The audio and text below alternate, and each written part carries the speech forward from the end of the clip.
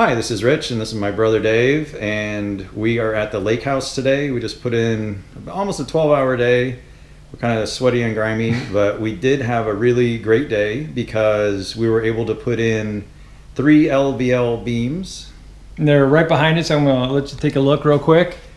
And uh, those beams right there are, there's three of them. They're 14 inches, tw- 19 feet long glued, nailed, screwed together. They're supporting our upstairs uh, so that we can have an open concept uh, main room.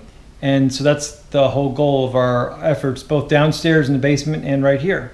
And I was really excited about how all three of them fit so nicely because Dave was kind of freaking me out, and he was saying, especially on the third one, that we didn't have enough room and we weren't be able to get it in and we're going to have to take it back down and then recut every single joist which would have just been really painful and take a whole nother day so um, i told him he was being a negative nancy And I was, but he was right, and it worked out just fine. Uh, we still have yet to put the joist hangers on. We'll do that on Monday, but right now everything fits, and we're way happy and way tired.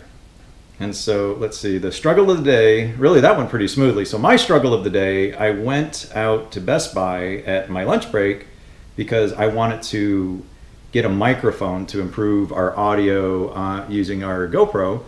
And so I get out of my car, and the manager comes running out of the store of Best Buy, and he is waving me off, and he says, "Hey, we don't have power in our store, and as a matter of fact, the entire mall doesn't have power, so you're not going to be able to do any shopping here."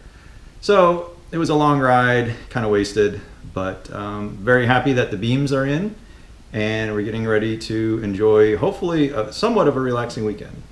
See you next week. Bye bye.